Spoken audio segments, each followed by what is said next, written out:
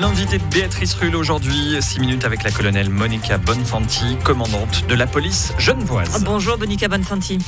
Bonjour. Merci d'être sur Radio Lac ce matin. Un sondage a donc été mené au sein de la police genevoise pour évaluer s'il y avait des problèmes de harcèlement sexuel au sein de la police cantonale.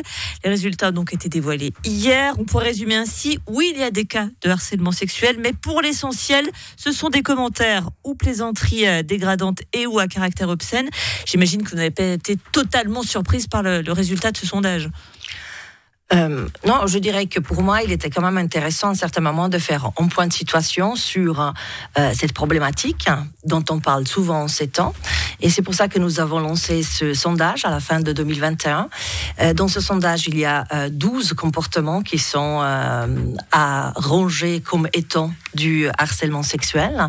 Et parmi ces comportements, il y en a 6 qui sont un petit peu plus légers, si j'ose le dire, hein, même si c'est toujours un petit peu disconvenant de parler comme ça.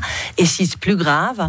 Euh, c'est clair que euh, j'étais quand même contente de voir qu'il n'y a pas eu de cas d'abus sexuels ou de viol. C'est quand même terrible là ce que vous venez de dire. C'est-à-dire que potentiellement au sein de les forces de l'ordre qui sont censées nous défendre, vous avez envisagé que cela puisse arriver. À un certain moment, vous faites un sondage, c'est pour savoir la vérité. Et donc, vous devez poser toutes, toutes les questions parce que sinon, votre démarche, qui se veut scientifique et objective, elle n'atteint pas son but. Pourquoi avoir attendu 2021 pour mener un, sondage sur de potentiels cas d'harcèlement sexuel? Ben, euh, c'est clair que la problématique, elle n'est pas, elle est pas nouvelle en fait hein, pour nous. On a toujours déclaré que certains comportements n'ont rien à voir à l'intérieur de la police et aussi à l'extérieur hein, par rapport à ça. Et euh, donc euh, il y a des cas que nous avons traités. On a toujours décrété effectivement qu'on n'accepte pas ça. Mais de l'autre côté, il est important à certains moments d'avoir un, un sondage objectif, de voir où on en est, quels sont les comportements les plus dérangeants, euh, avec qui euh, et dans quelle situation elle s'exerce, pour de l'autre côté être beaucoup plus percutant pour savoir qu'est-ce qu'il faut mettre en place. Et donc là, en 2023, on, se, euh, on va faire une campagne de sensibilisation à l'intérieur de la police.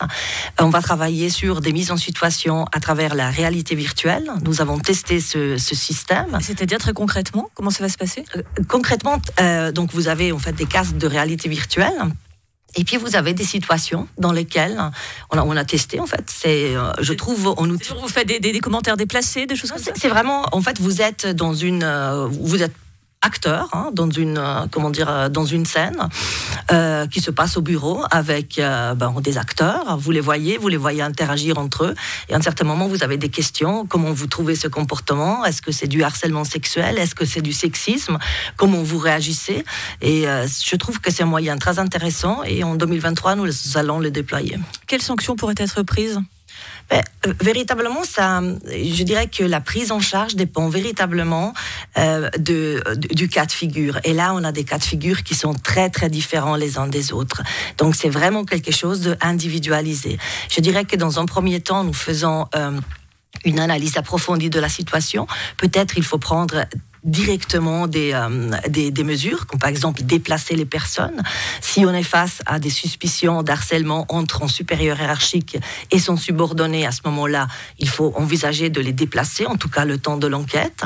Après, vous avez aussi euh, des cas qui se résolvent de façon assez simple par exemple par rapport à une table ronde, à une médiation. Puis vous comprenez bien que si on est face à des abus sexuels ou des viols, là effectivement il y a une enquête qui n'est même plus de notre ressort, il est du ressort du ministère public. Le monde de la police qui a longtemps été, qui est quand même largement masculin, mais qui se féminise, de par cette situation-là, on imagine aussi que la, situation et les abus sexuels peuvent évoluer. Quelque part, euh, quand vous voyez les résultats de notre sondage, on a quand même en, 2018, euh, en, 2021, on a 18% euh, des hommes qui ont été victimes de un des comportements qui sont relatifs à l'harcèlement sexuel. Et donc, véritablement, le cliché qui dit d'homme, homme, auteur et puis femme, victime, ça, il faut quand même nuancer un petit peu ça. Vous n'avez pas harcelé quelqu'un, c'est parce que vous êtes en train de nous dire. non, je, je, fais vraiment très très attention à ça, mais euh, aussi au-delà de, de euh, comment dire, euh, au-delà de, de ces résultats, par rapport à ces comportements. Il est aussi intéressant de voir la question qui consiste à dire, mais est-ce que euh, ces comportements, selon vous, ont une influence sur l'ambiance de travail? Et la plupart des personnes nous disent euh, non, euh, ça n'a pas de l'influence directe sur l'ambiance de travail. Nous sommes dans une ambiance de travail qui est agréable, voire très agréable. Vous-même, Monica Monfanti, vous êtes une femme, vous êtes à la tête de la police genevoise. On imagine bien que ce n'est pas forcément évident d'être à la tête d'un corps de police où il y a énormément d'hommes. Comment est-ce qu'on arrive justement à, imposer et à, mettre les barrières de ce côté-là ben, ah, d'un côté, euh, je trouve c'est très important la sensibilisation parce que contrairement peut-être à d'autres affaires ou d'autres comportements où on est centré sur l'auteur, là on est centré sur la victime. Et c'est véritablement des, par exemple, si on fait des remarques, euh, neuf personnes ne trouveront pas de problème et la dixième elle trouve que c'est offensant et que c'est une remarque complètement déplacée.